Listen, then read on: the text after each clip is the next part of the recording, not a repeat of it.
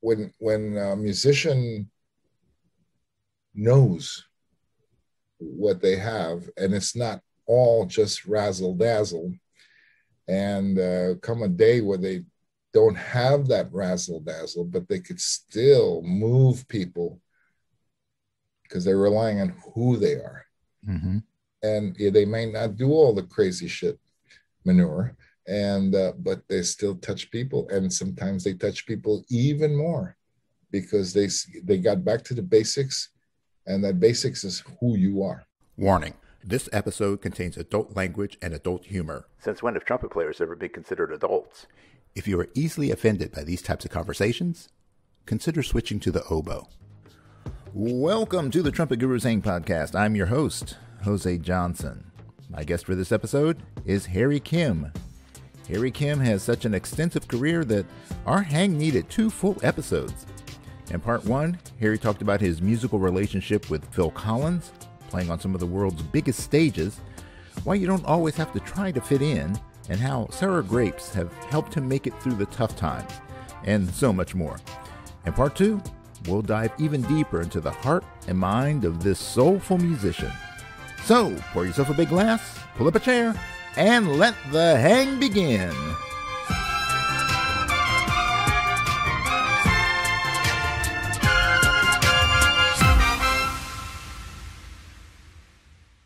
So uh, when I when I can look back now and go, you know, hey, I was sweating all of this stuff that, in the grand scheme of things, really didn't mean anything. So uh, and you know, uh, I've gone, you know, have, like you, you know, I have definitely had my, my share of uh, of hardships and, and everything that that's come before this has just helped me to be a better version of who I am today. yeah i think there's there's cer- certain people that have um, that kind of wisdom built in I go back, you know, go back to my early days. Everything that happened to me, I didn't sweat it. You know, uh, I just kind of lived moment to moment, day by day, and um, you know, just doors kept opening for me. Mhm. Some of them slammed in my face, and uh, sour grapes Sour you grapes. move on, you move on. and uh, and I think the wisdom behind that, if you think about it, is uh, when you have that attitude, it doesn't affect you for the next thing that opens up for you. Right. You don't bring that fear. You don't. You're not full of baggage, as they say. You know. So I think that recovering from defeats. Oh gosh, I remember uh, when I did my first gig with Phil Collins. The opening tune uh, was pretty hard. A song called "Hand in Hand," and I was trying to be perfect every single performance. And I found that uh, I'd crack a note here or there, and and that would just really. I I went on a head trip, you know, for the rest of the tune. And that year, we were we were playing in London, and they had the Winter Olympics on, and I saw people in the figure skating thing take a huge tumble right at the beginning, and then I said to myself, "How do they do the rest of their routine?" And they recover beautifully. And I remember saying that I said, "That's what I got to do. Just to- totally forget about the mistake I just made." you know and just uh, you know it's it's about staying in the moment hmm you know, forget about what just happened and you know especially because you got the commentators saying oh she's got a big uh, triple this and double whatever and coming up and she stumbled on it at at, at their at her warm-up how's she going to do it and then she does it because she's not thinking about that she stumbled and when it comes up she's practiced that so many times she's not sweating it when it comes up Right.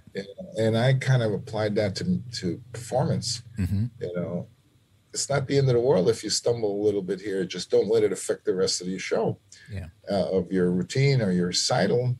And the only way to do that is just stay in the moment. Don't think ahead. Oh, here comes the hard part coming up. No, th- that's destruction, self destruction. You know, just you practiced enough. You know, throughout the whole time preparing for this Right. make it happen automatically. Mm-hmm. But if you think too much about it, it ain't gonna happen. Yeah. Well, I mean, if you look at anybody who's uh, you know at the top of the, uh, the top of, of their craft, whether it be in music or anything, yeah. And I was I usually default to sports because that's that's a wonderful analogy and it's something that people can can usually look at unless you're a sports person, you know, then then it's it's your your bed that you're you're talking about to begin with. But if you look at, at you know somebody like a LeBron James or you know Michael Jordan, um, you know, greats, you know, uh, Tom Brady, you know, anybody who who is in that upper echelon of their sport, they make mistakes. You know, Brady will throw a pick. You know, Jordan would miss a a, a shot. You know, LeBron will miss a shot. But you can get you can be guaranteed that the next time they have the ball in their hands, they're not worried about what happened prior. They're just worried about executing that moment. And, mm-hmm. and a lot of times, what you don't want is you don't want those guys to make a few mistakes because they get so pissed off at themselves that they're just like, "I'm dominating," and they get they get into that other space.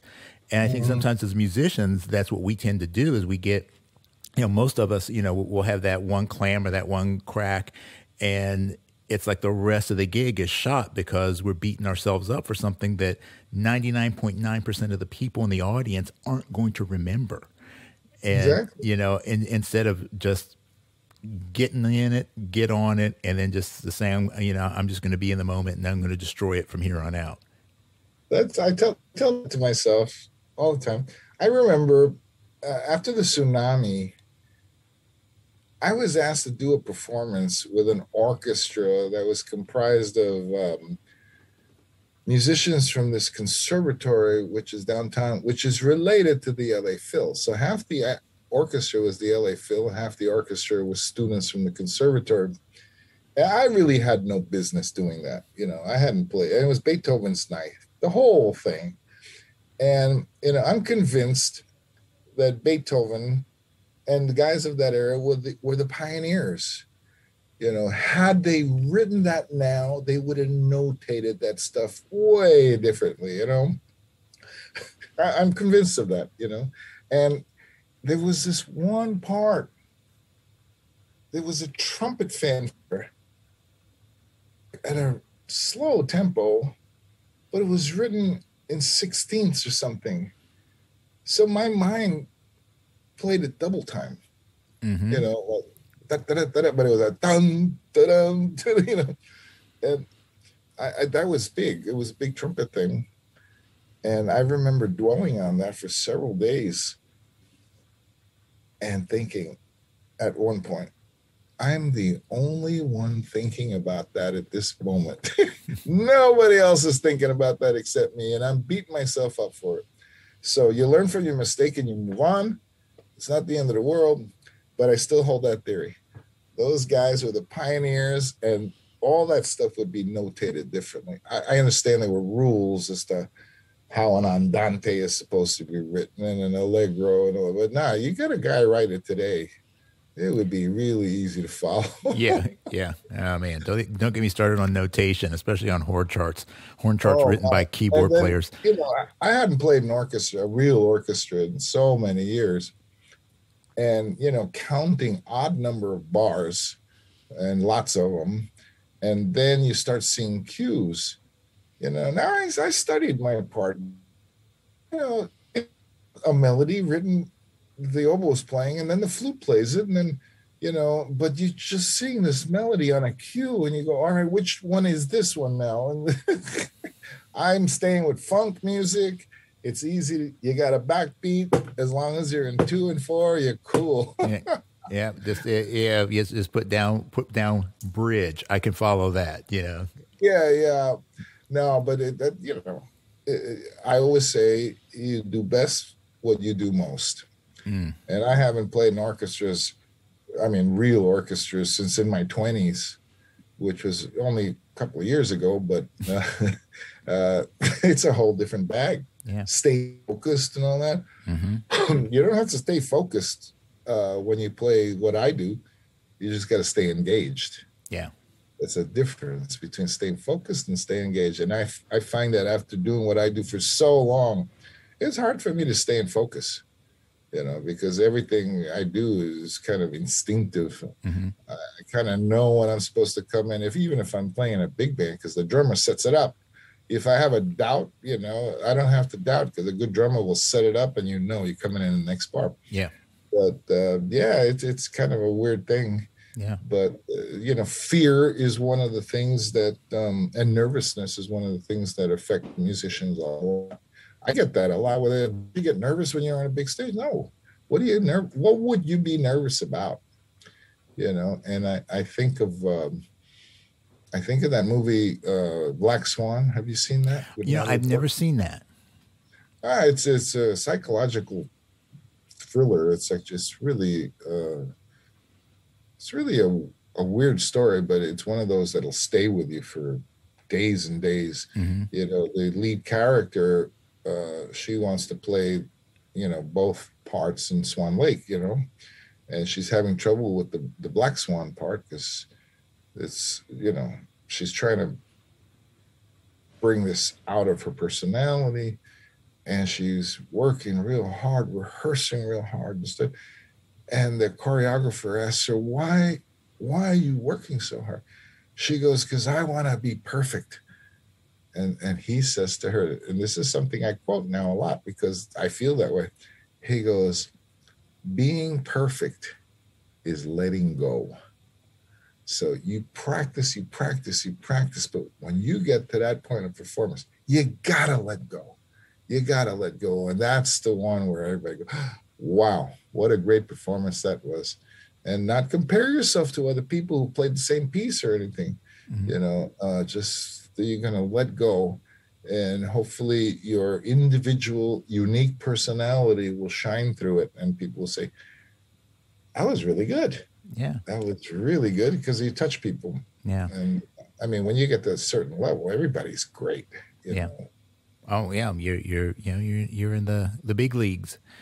Yeah. Um, well, you know, I had an interesting conversation uh, on a previous episode with uh, New York-based uh, trumpeter uh, Kiku Collins. Uh, Kiku played with uh, Beyonce and you know um, Gloria Gaynor. Yeah, and Gloria Gaynor. Yeah, and we were we were talking about a little bit about her career, and I was asking her about you know being on on the big stage and stuff like that, and she's like, you know, I have zero fear on the big stage She said, but I'm terrified in a small club because I can mm. see people. You know, she's like, you know, if I'm playing in a, in a in a big coliseum, you you really can't even see the people in the front row because of all the, the lights and stuff like that. So she said, I'm I'm just kind of I'm I'm just playing and, and I can't be distracted by by other people. If I'm playing in a small club and I see somebody you know, like looking at their watch or you know something like that, you know, then then it, it starts to get in your head. So it's real interesting how some people have that um, have the fear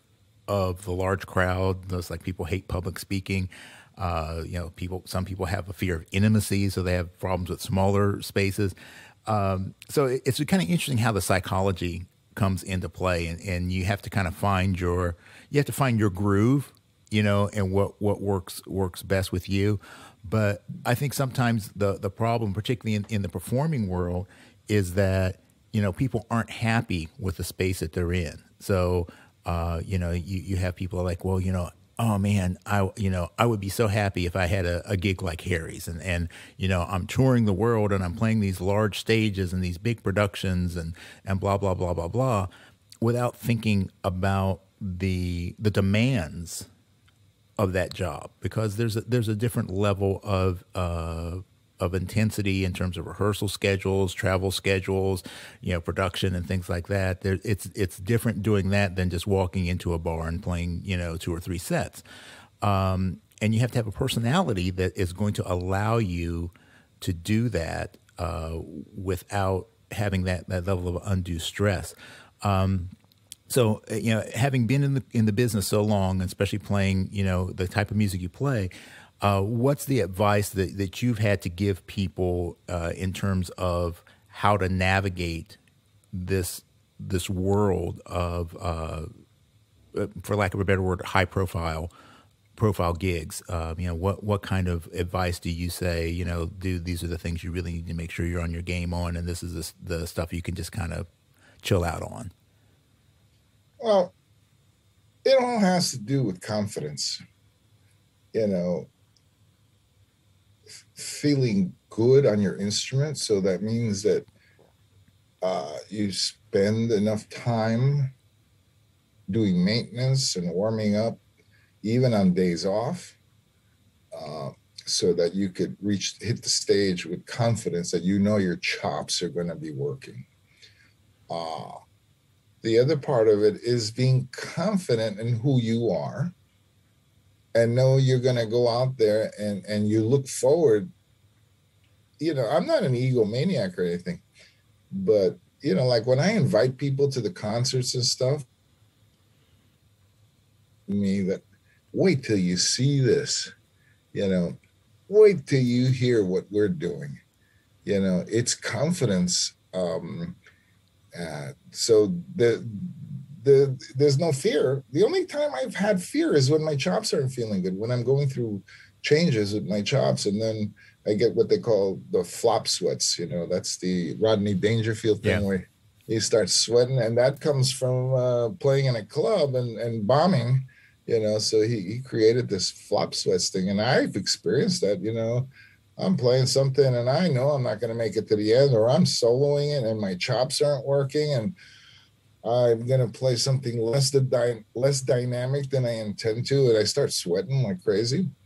And I know that uh, you know if your chops are good, you have confidence, and if what you're playing is good, you have confidence, and and if you know what you're doing is uh, is validated by everybody around you you know you have you get half confidence. And and if you're engaged i use that word a lot because you know a lot of people think that that all the stuff you do is is just show you know but no the show aspect of it it won't be convincing if you're not engaged. You can't fake that stuff you know. And then having confidence what what you position i remember celine dion uh, in an interview they were talking about chops and she said it's really funny because during those performances where she has the flu or a cold or something like that always without a doubt that's when people come out and say i've never heard you sing that good. It was so touching. It was you know and they asked her why do you think that is? And she said i think it's because I knew I couldn't rely on tricks and chops. I had to be myself with what I had. And that's interesting because, uh, you know, when when a musician knows what they have, and it's not all just razzle dazzle, and uh, come a day where they don't have that razzle dazzle, but they could still move people because they're relying on who they are. Mm-hmm. And yeah, they may not do all the crazy shit manure, and uh, but they still touch people, and sometimes they touch people even more because they they got back to the basics, and that basics is who you are. Yeah, you know what it was. What you learned the first song you know, you didn't try to play a lot of razzle dazzle. You played the melody the way you felt it, and and that convinces people. So, you know, there's a lot of ways to look at it. You could be very confident with your pyrotechnics. Uh, is that a correct word? That's yeah. that's correct word.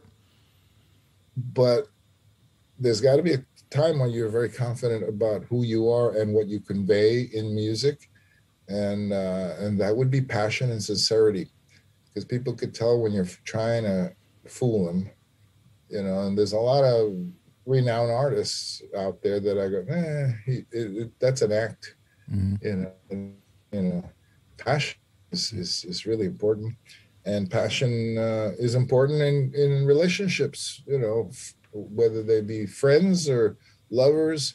But to be passionate about what you talk about, about how you deal with life together and, and stuff that that's that's really important yeah. and i don't think that um that people should block put a wall up uh, you know i'm i'm gonna be good friends but not that good You know, I'm gonna I'm gonna be expressive, but not that expressive. You know, I I know plenty of people that there are certain things they won't talk about, even in the most and I will say intimate, not physically, mm-hmm. but in yeah. the most intimate friendship moments, mm-hmm. they draw a line. Yeah. I ain't going there. Mm-hmm. I'm not going to tell you what I really feel mm-hmm. and all this stuff. So that that kind of puts a damper. Uh, I, f- I find that my best friends completely put their guard down when they when, when we talk, and that also affects me because then I can put my guard down too, and then we can have a really passionate talk. Right. Music is the same way. I mean, if you walk in somewhere intimidated, you're not going to give it your best, uh, and if you want to be the intimidator, uh, it, it's all show. Yeah. Uh, it's got to be real sincere. It's like, you know, these legendary meetings of great jazz musicians you hear about, and, and the humility that everybody had uh, towards each other. You know, you didn't have, you know, except well, a few exceptions, but you didn't have a lot of attitudes. You know, everybody was doing their best. Mm-hmm. I like trumpet players. I could name a few who are just gifted, but they know how hard it is for other people. Mm-hmm. And they don't, they never rise themselves, they never put themselves above those. Those are people with humility. Yeah. And you can actually have good discussions with them. I learned a lot. There's a trumpet player named Dave Trigg, yeah. who's uh, just a gifted trumpet player, able to do things. And he never puts anybody down who's trying to play the trumpet you know and and we've had great discussions where he he talks about what he feels when he's doing certain things and and uh, i learned a lot from him yeah. you know about blowing I, i've never become the high note star that he is but uh, i learned a lot about overall playing yeah. just from hearing him talk sincerely about what he feels and what he thinks about when he's playing. Yeah. And uh, you know, and then I know guys that uh, will judge you as a person according to how good you play. Yeah. And I've always found that, you know, off-putting because, you know, so you run into a trumpet player who's not that good. You don't sign off on him as a person, mm-hmm. but uh, you know, so it depends on different individuals' state of mind and their what they need to uh, complement their own egos and stuff like that. Mm-hmm. Know, I I feel that I'm really grounded because um, I grew up very poor. Mm-hmm. You know, I grew up in the ghetto in, in New York, Lower East Side of Manhattan. Uh, I know what that's like, and I'm not one of these guys that uh, I'm on the world stage and I and I put people down if they lived like that still. I came from there, and I know I know I could easily. Well, I'll give you an example. When when my after my wife passed away, I I had zero dollars in the bank because spent it all on on uh, medical bills and surgeries and this and that, and and the thought of having to sell my house was my plan B. I'm going to be fine. I have no money, but I could always sell my house. I have equity. Mm-hmm. Uh, for somebody else, that would be devastating to be homeless. But I didn't have a house when I was born. You know, I had nothing when I was growing up. You mm-hmm. know, uh, so it it wasn't that devastating. The house doesn't define me. Right. You know, what defines me, I think, is my ability to survive. And if if I had to, I would sell the house, and I'd have money in the bank, and I'd be have some peace of mind. You know, and uh, but it didn't happen. Mm-hmm. I don't know why. Uh, maybe because you know, if you want to be metaphysical about it, my I was calm about it, and eh, if I lose the house, I lose the house. Yeah. But I didn't lose the house, you know. And then the next thing that happened was a three-year tour of Phil Collins, and bam, I'm back in the game again, and. Uh, I think about this a lot of times because I get young people you know they're worried about their careers they're worried about the future. And i tell i never worried about anything. You just do what you're doing it's going to work out. One way or another it's going to work out you know? And just just live your your dreams live your your life without fear and this constant pressure about the future. I never wondered if i was going to make it as a musician and when you know in retrospect because i was just living the life of a musician at an early age you know uh never worried about it too much uh there was one time in my life uh, maybe I'm getting too personal here, but I, I, had a girlfriend that left me because she'd rather had been uh, dating uh, a CEO or a corporate guy. Mm-hmm. And I remember when she left, she said that I wasn't ambitious enough for her. Like wanting to be a musician wasn't ambitious enough for her. So I went through a little thing about that because uh, I had a tour and I ran into a couple of high school buddies and uh, this I was uh, in my early 30s, I remember, and uh, they had good jobs. They bought houses. They were married. They had children, and they were the same age as I as I was. And mm-hmm. I, was, I, don't have shit to show for, for what I've been doing, uh, along with that that uh, disappointing heartbreak. I mean, she was just cold. You're not ambitious enough for me. And uh, I remember talking to a friend of mine's uh, personal assistant because she knew my girlfriend. She goes, oh, "That's you know, uh, choosing the right partner is a career move. You got to understand that, you know, and you that career move." And I was thinking, God, what am I going to do? Because I, I don't see that this is going to change very much the music business was like really took a dump in 1980 right and uh, so i was doing different kinds of work than i was in the 70s and that thought lasted about three months and i stopped worrying about it and things just started sailing it, uh, i didn't have to worry about it turns out even for those three months those three months are a waste of time so I tell people, don't waste your time thinking about it. Just do it. Yeah.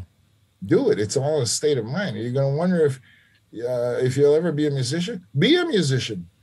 Put yourself in a state of mind of being a musician. Get out of the the student state of mind. Because mm-hmm. even when I was, I thought of myself as a musician, and that put me in in situations where I was working you know so that gave me a, a, feeling of validation that i am a musician. I'm just not as good as others but i'm a working musician. I'm not i'm not i'm not going to wonder what the future is like. Uh, the future is not in your hands. Just the only thing that's in your hands is what you do right now and um, so i tell people stop stressing jeez too much stressing i think the system you know the stress the kind of stress that parents put kids in, getting into good colleges, and this and that and the other thing. Uh, I think that's uh, too much stress and, and, not being able to live the moment. Yeah. Um, I I've always been under the uh, impression because I didn't go to college or anything, but to go to to a college and spend whatever it is fifty thousand a year to be a performance major. I always thought that was a waste of time. Why are you doing that? Get get out and start working. Yeah, that's, that's a bad I, business I investment. I find that a lot of musicians come out of college and gig yet. You know, of course, things are different now than they were when I was a kid, but I'm sure you could find an opportunity to work. Now, I've talked to a couple of guys that came out of college and were successful. And I said, why is that? Because they agreed with me. It's kind of a waste of money. If you're the type of student that's going to network and meet people while you're in college, you get out of college and you start working. But if you're the kind of the loner type and don't make a lot of friends, it is a waste of time. Mm-hmm. It's definitely a waste of time because all these guys uh, that did that, they came out of college and they they reached out to the people they met during those years in college. Um, you know, the contractors, uh, this, that, you know, and the other thing, and musicians from the LA Phil or something like that, and and and immediately got a spot subbing on the on the in the orchestra, and and and those are people good people skills, right? You know, But if you don't have it, uh, they agreed it's kind of a waste of time, Yeah. a, a waste of money. Yeah. Um, so uh, when I do lectures, I tell people, no matter what university you're in, and and make the time to put a band together. All you have, all you need to do is you know get a list of 15 songs you want to learn how to play. You know, the horn player, the horn can learn how to write horn arrangements. You know, the band leader will learn to organize. You know, somebody else will learn business skills. There's got to be a bar in the town you live in that'll hire a band uh, once a month.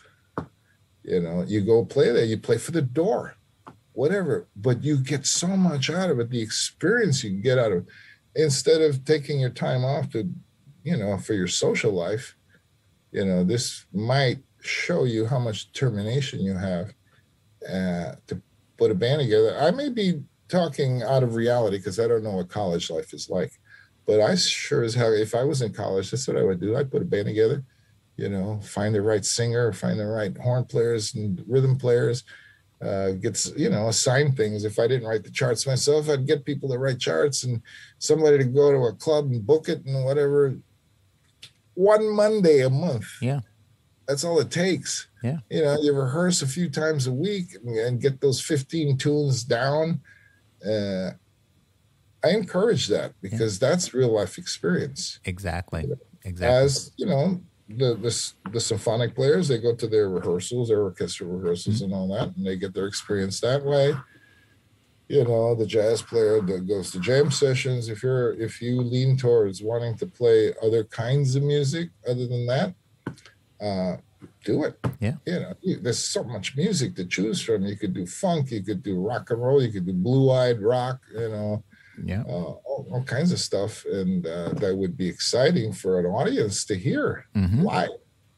Yeah. You know, so I, I really, uh, I really believe that uh, if you're determined, you could do stuff. I remember reading once um, a um, the single most identifying factor if a child is going to be successful has nothing to do with IQs or test scores. It has to do with what's the word they used? Um, grit, hmm curiosity, and determination. You find a kid who does that, he's going to be successful. Yeah. Who has that, I should say, has those qualities, and he's going to be successful. I agree a hundred percent on that.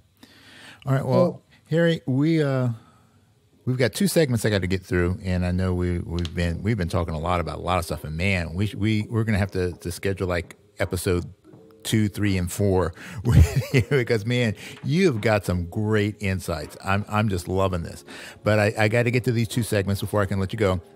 Uh, the first one is the obligatory discussion of gear. Uh, we got to do it. It's trumpet talk. But I don't want to just talk about, hey, what, what trumpet do you play? What mouthpiece you play? But mostly about the role that gear plays, you know, the decisions uh, that you make in, in regards to gear, especially for someone who's playing, you know, primarily commercial and, and these kind of uh, uh, larger gigs. So uh, tell us a little bit about your setup. Well, my philosophy is way different from most trumpet players. I feel that um, I pick equipment that makes it easy to play. Because the easier time I have it playing, the more I'll be able to do stuff. Sound uh, is important, but you can search for sound while you're searching for ease. So I've actually went down and back up uh, a rabbit hole of mouthpieces. Um, I decided to make some big changes only because uh, I play a CG Benge, and I've been searching for good CG Benge for for about four years, and uh, bought a few, and they they were not good. They they weren't they had problems with intonation, with this and that and the other thing. So I just stumbled on one last year, uh, just out of luck. Stumbled on one that's really good, easy to play, and then I decided that it's time to go down the mouthpiece rabbit hole. I haven't changed mouthpieces so many years. I know here's grit. I know that there's something better. You know, the curiosity. Let me start trying and not giving up. You know, I stayed with home base. I don't destroy that because I always know I could come back to it. But I went to Bob Reeves and I tried every mouthpiece he has, every you know cup, every backbore, everything, and and then uh, I was able to pinpoint um, something that helped me. So I had never tried his ES.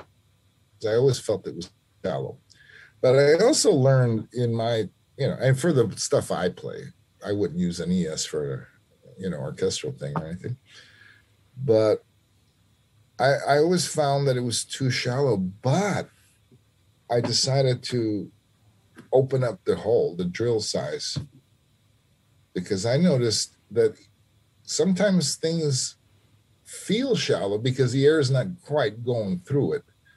You know, so it, it gives you the illusion that it's too shallow, but it's not. It's the air kind of backing up. So I opened up the hole, and that made a huge difference. Uh, and then I said, still not comfortable. So had him one using my rim, the rim I've been playing for 15 years. So he he made one, and then I started messing with the backbores. Uh, the first backbores uh, you make uh, the standard backbore is what he calls the number two, and I felt it was too tight. So then I got I had another one made with a six nine backbore, which is a little bit bigger, and uh, it didn't feel right. I can't tell you if it was too tight or too open or what. And then so I started experimenting. You got to have dollars to do this, and you got to also know what you need. What I did was I had one made with a six nine backbore and a little bit of the two, so which made it a 692, which is a wide open backbore, but not quite as wide because the two didn't the two cutter didn't go all the way. Mm-hmm. Am I boring you with this? No, no I'm good. Right. And then I also started with a, standard two backbore and just sticking the six nine in there a little bit. So they're both a 692, a minus 692 but at different degrees because I started with uh, two different. One I started with the six nine, and then one I started with uh, the 2 because mm-hmm. I knew the, the full blown six nine two wasn't working with my horn. It it was too wide open, so I knew there was something in there. So I just kind of found one. The one I play is what is it? Can't see. okay, this one, this one started as a two, and then stuck the six nine cutter in there, a little, a little bit, just a. It, well, it took out a, a, good amount of it. Didn't it just didn't, didn't right. go all the way. Right. So you know, this is labeled minus six nine two, and that has been my secret mouthpiece now for about three months. Mm-hmm. So I was able to climb out of the ra- rabbit hole and I'm really happy. I took this on a test drive on several gigs, uh, several hard blowing gigs. I took a, a few salsa gigs uh, recently and, and went out and sat in with salsa bands because for me that's the best test. But you don't have monitors, uh, you're just blowing and and you, you just see and uh, where it's going to take you. And I'm really happy with the sound. It's big and yet it still has the edge to cut through. Mm-hmm. And and uh, I have an abundance of freedom with this horn, which happens to be a good CG Benge. Um, I think that a lot of the CG Benges have been tampered with. That's why uh, I haven't been able to run in one into mm-hmm. one for a long time, mm-hmm. for years. Uh, but this one is like, whoa. And as a matter of fact, the guy I bought this one from is a music store in Atlanta called can't remember Rich something. Anyway, he had another one, a CG Benge in mint condition that was in somebody's closet, and he sent it to me also, and it was like, eh, it wasn't as good as this one. Yeah. So I got the horn, I got the mouthpiece to match it. Uh, it, it, it I'm new again. And uh, there's a whole history behind this thing that I won't get into. But I had a really good CG Benge in 2012 that I and I fell down some stairs during a rehearsal and I smashed it. Hmm. And I was never able to get it to play good again. Tried three different bells, it didn't work. And then my wife got sick, and then Yeah. she ultimately passed away. I stopped bothering with that. I wasn't practicing and all that stuff that I went through. So it was time to get back into the searching. Yeah. And I'm glad I did because whew, I got some good results. Ah, good. That's what I like to hear, and and some good tips there for people. You know, as they're uh, they're thinking about the the way they're going to approach their gear. There's some good tips in there to, uh, you know, let the ease of the playing steer the ship, man. Because I'll tell you, it's really simple. You have to be very systematic about it. You know, if I have 15 mouthpieces in front of me, you know, I'll play exactly the same thing on each one of them. And that's like a two octave or or even sometimes a three octave scale from low G to high, you know, G above the staff, or just from F in the staff to the F above the staff, and then maybe go chromatic to F sharp and then the G, you know. But I'll do the, exactly the same thing with each mouthpiece. And most of them won't work. Or doesn't sound as good, or is not easier, or is not better Mhm. put that aside. Put that aside. And then I'll run into one that it does help. So I'll put that somewhere else. And then I'll just on until I maybe maybe have just one, or I might have two. And then I start testing different things. And for me, for the kind of music I play, uh, being able to articulate notes, that that that that that that that that that that you know, things like that, but exactly the same with each one. And one will fizzle out and one won't. And uh, and then I stay with that one. And then I start thinking, well, what if this is the grid? yeah, What if I open the hole? What if I change the backbore? What if I do this and that? And ultimately, it led me to what if I use my rim? You know, yeah, and then sleeves is another another story. yeah, yeah, You know, because I I have sleeves in quarter sizes, starting from four, four and a quarter, four and a half, four and three quarters, and I will try every single one of them, you know, and try specific things, and I will find one that is better than the other, and then I go back to it a week later and try them again, and no, the one I chose was was the best or, or most efficient, I should say. Yeah.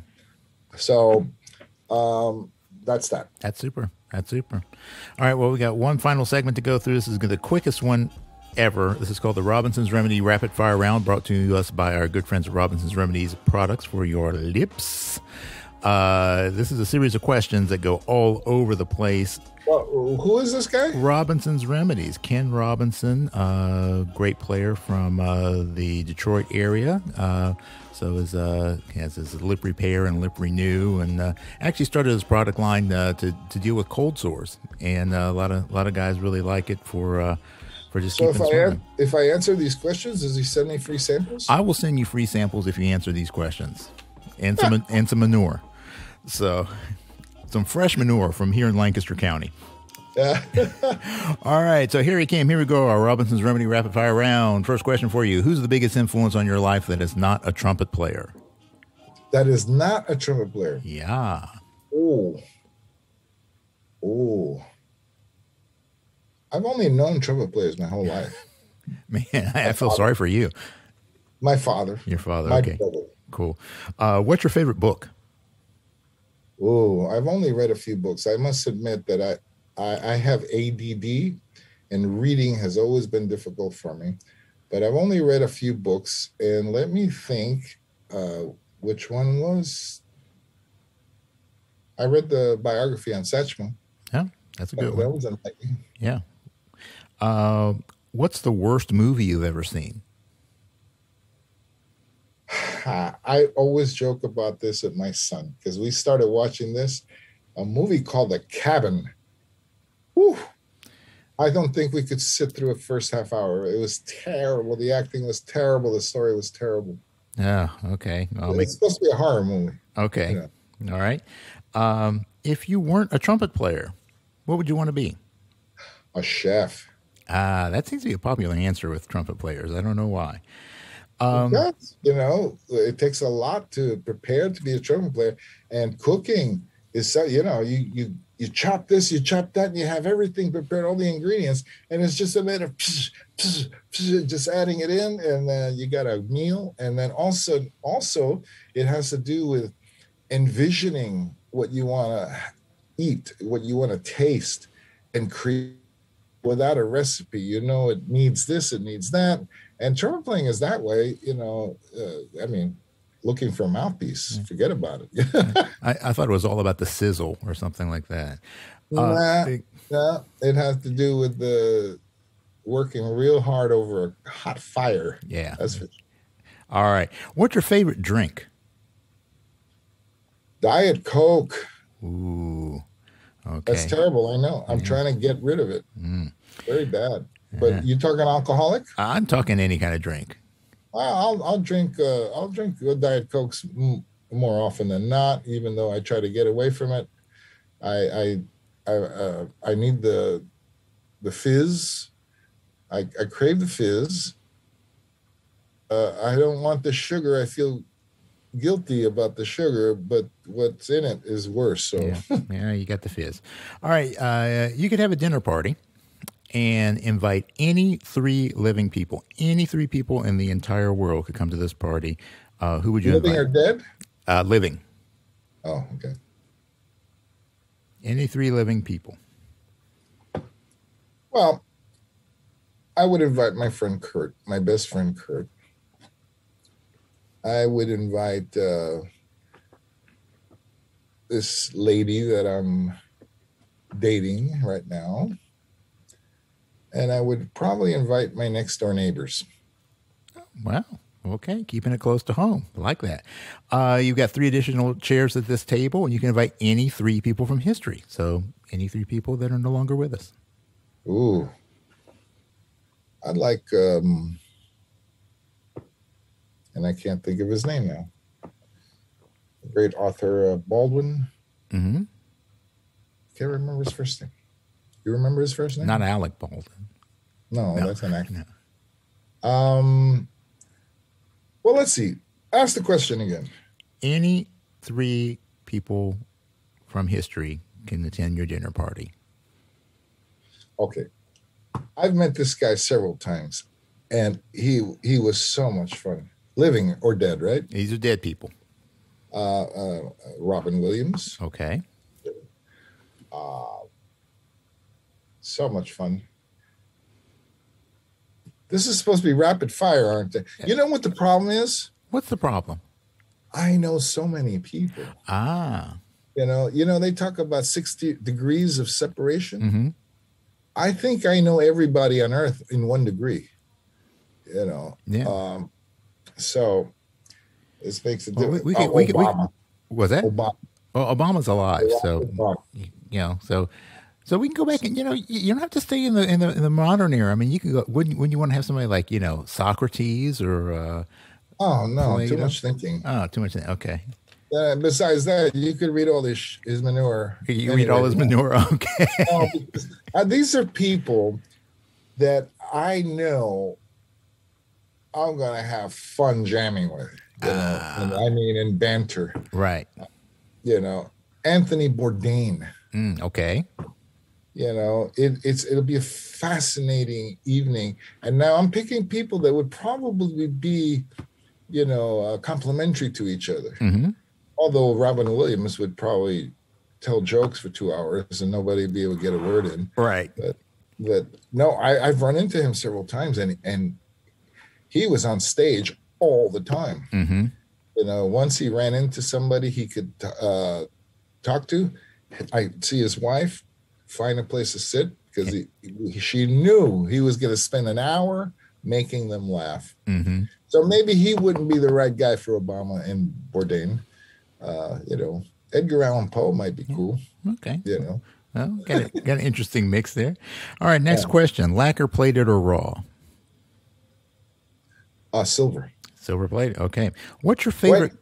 Well, was that depends on the horn, okay? But silver plating on a CG Benge for sure. All right, good enough. Uh, what's your favorite quote? Oh, I have lots. I think Maya Angelou. Angelou. At the end, people won't remember what you did or what you said, but they'll never forget how you made them feel. Mm, I love that. yeah, that's a great one.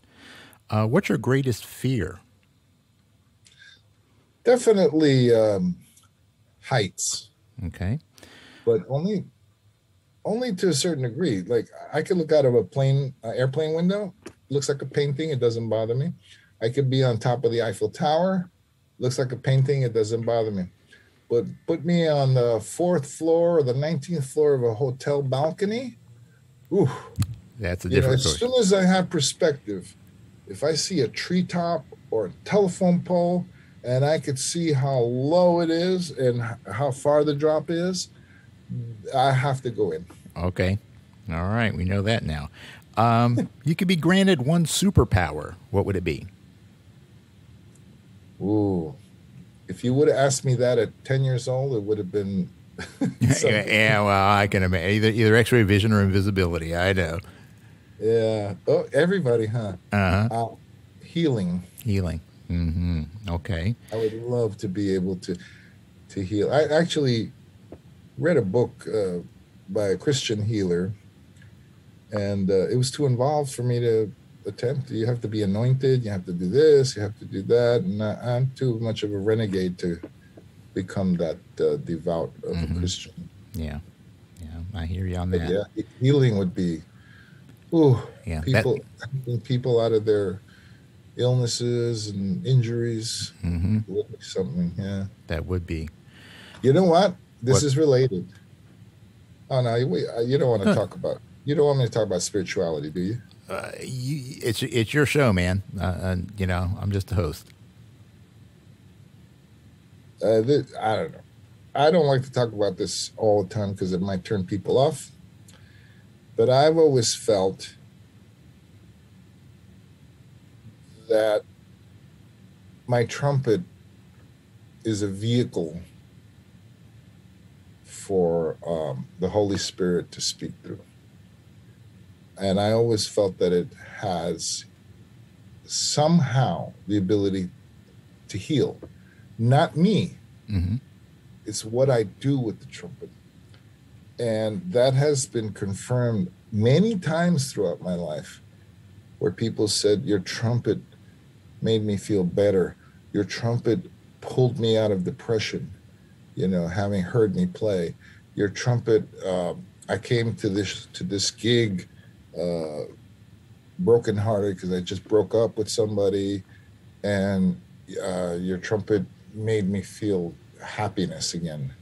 Uh, so, you know, this may be too much for people to handle, but I really believe that um, if you ha- if you're open to it and you play the trumpet with all sincerity, not as a, a weapon, not as a tool to build yourself up or to impress or anything, but just to play with all your heart, and you're also open to greater power than you. I really think that there are times, it's not always, but there are times when when I'm used as a vehicle for his power and and um, it relates to the power of healing. Mhm. I um, I do believe that there is that effect. hmm It's not that I want to, hmm it's that it is Yeah. because it, it's been confirmed to me. People from out of nowhere, just out of left field, will tell me when I heard you play the trumpet.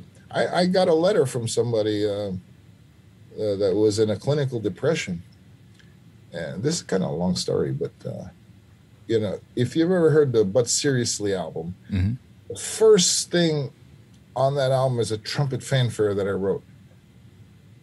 And this woman says she was in a clinical depression for two years, and she got this CD, the But Seriously CD, for for Christmas, and she never opened it up. And then it, this it was like springtime by then.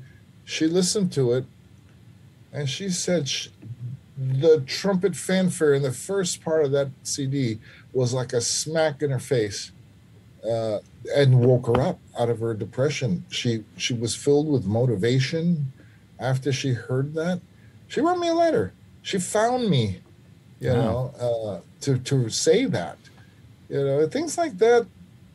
Uh, I I guess I want to believe Mm-hmm. because that's one of my superpowers that I want Mm-hmm. and uh, but um, to think that my trumpet playing is a little bit more significant than just making money and going out there and acting like a fool on stage you know if i could make somebody feel good for two hours or during a show or something like that i think that's that's kind of a goal i have all the time when i play and, and i got to take my ego out of it i got to play as as sincerely and passionately as I can at that moment. Yeah. Well, and then, the, yeah, Yeah, absolutely. And and you know, there whether you want to think about it from the spiritual perspective or the scientific perspective, um, music has a healing quality to it, just in general.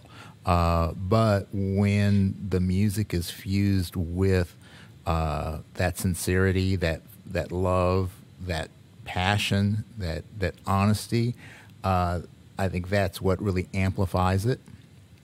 And you know uh, you know the to me music is uh, it's obviously playing trumpets physical uh, it's mental it's emotional it's spiritual you know it's all of those things when, when you're when you're at, at, at the highest. But i think this the the emotional and the spiritual to me are the things that draw me to music you know it it, it changes my emotions it lifts my spirit and uh, I know if I can do that for others, then I'm living up to my purpose. So I, I'm with you. I'm with you, man. yeah. I mean, you hear about musicians talking about having out of body experiences. Boy, when everything is right, when trumpet playing becomes effortless, and you're not playing notes, you're playing shapes. Mm-hmm.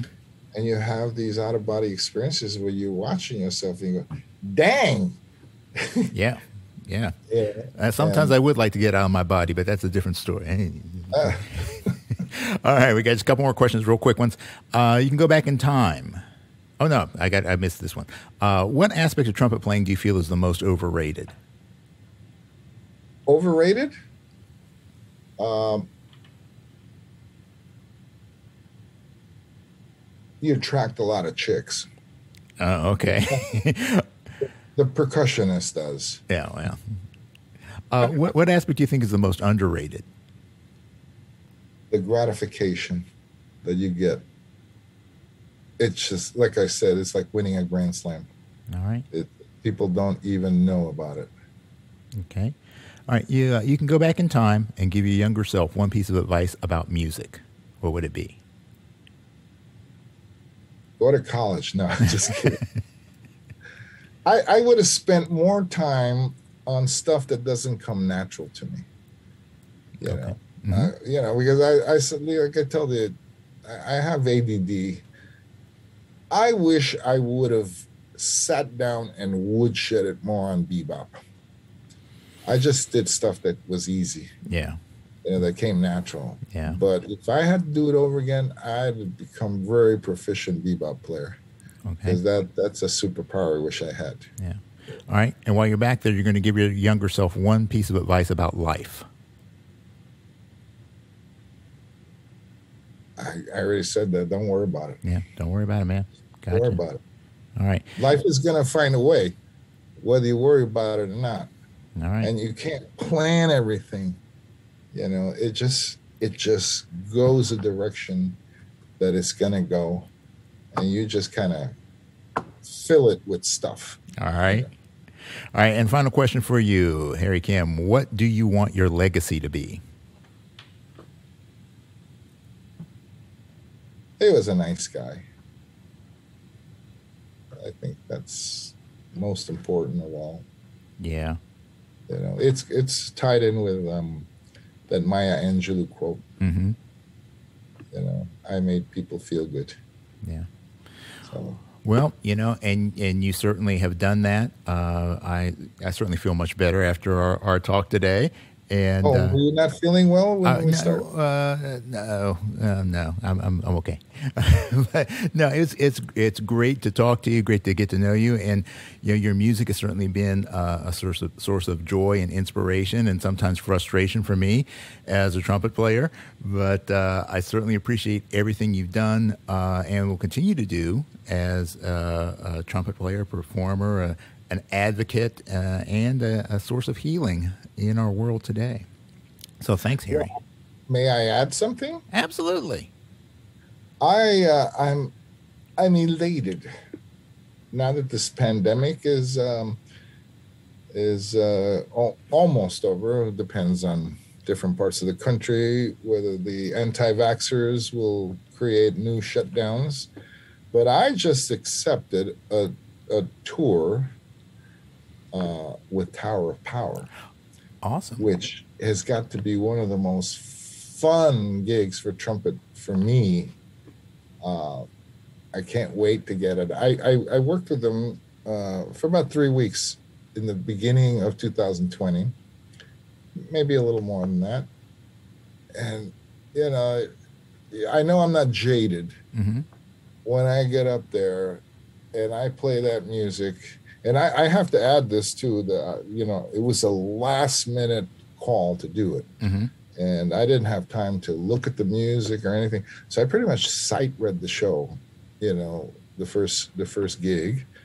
Uh and it- just to play that song, the, the music and know the songs and and and you know, I'm not jaded Yeah. it's exciting. It is exciting to go out and play this music. I I think I've reached a, stage in my life that I choose to do things that I want to do, and uh, later for the stuff I have to do. I don't, you know, boy, just go out with Tower Power, you know. So I will be in a town near you sometime within this whole even the beginning of 2022 we're, we're, we're touring all over the place in the U.S. So keep an eye out for it. I'll keep an eye. Are you playing the? Uh, are you are you playing the, the lead book or the, the second book? Yeah, the lead book. Okay. So is Adolfo still on the on the gig? Adolfo's still in the. gig. Adolfo's a my boy. Adolfo's Yeah. my boy. So Adolfo and I go back a few years. So uh, we're, that right? i- If if you guys are close enough for me to get to a show, I guarantee you I'll be there, and we are going to hang, my friend. Yeah, well, you know, keep your eye open on their on their website. Uh, anybody who's listening to this too, you know, if we're playing in a, in a town near you, come out and see it and and introduce yourself, and and I'll be glad to sit with you and talk and flirt with your girlfriend. No, no, yeah. Like- yeah, I'm telling you. but you know, Yeah. uh, so uh, yeah, so I'm, I'm looking forward to making new friends while I'm out there. It, it looks exciting, but most of all, you know, you talk about that Grand Slam thing. hmm You walk off the stage from Tower of Power, Oh yeah. and I will brag a little bit. Mhm. Uh, somebody somebody brought this up. I didn't make this up, but uh, they were trying to um, impress people with my presence, and, and said that I may be the only trumpet player on earth who has had the quadrifactor quadrifacta of horn groups. You know, played with Phil Collins, Earth, Wind, and Fire, Chicago, and now Tower Power. So I I feel uh, I, I like to say that because it sounds good, Yeah.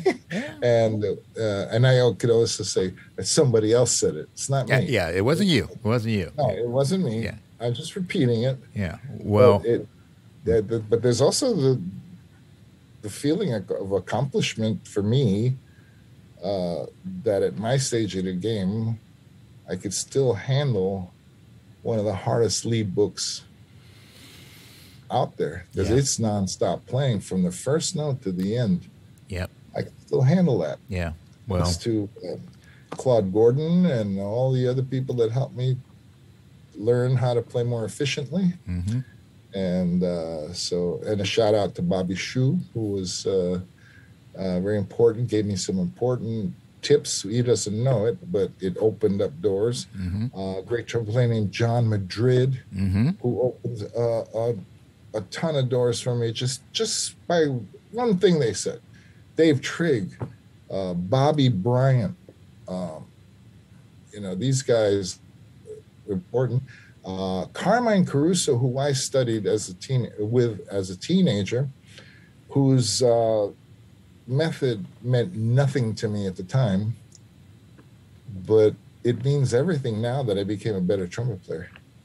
It didn't help me become a better trumpet player, but it helps me now Yeah. that I I've got it figured out. Yeah. So that's one of those things.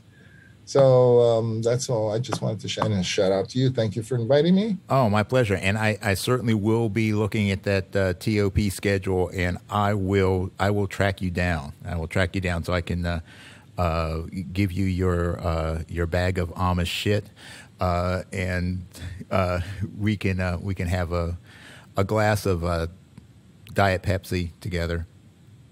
Oh, I, I might have a Bailey's Ah. if you're around. I, I'll be Well, okay. you Uh, know, uh, Adolfo's Adolfo's a single malt guy, so uh, at least he, he was last time I hung with him. that so. too. Uh, uh, Laphroaig, ten year, Okay, all right. one You, of my favorites. I'll, I'll buy the first round. You've got the next three. So uh, thanks, we, won't Harry. be, we won't be drinking Laphroaig for the next three. Yeah, we'll we'll be down to the Boone's Farm after that. Yeah. So uh, thanks again, man. I really appreciate it. And for all of you out there in Trumpet Gurus land, peace inside Greece. We're out. Thanks for hanging with us today. This podcast is all about creating deeper connections through our mutual love of music and the trumpet life. Make sure you subscribe to this podcast and also like and share this episode with a friend. We want to see the hang grow for show. Please support our sponsors and consider becoming a personal supporter of this podcast as well. Remember, for less than the price of a bottle of valve oil a month, you can keep this podcast moving smoothly. The Trumpet Gurus Hang is recorded at the Candy Factory, a co-working space and social club located in Lancaster, Pennsylvania. Jose Johnson is the executive producer. Post-production editing is by Mitch Bowers.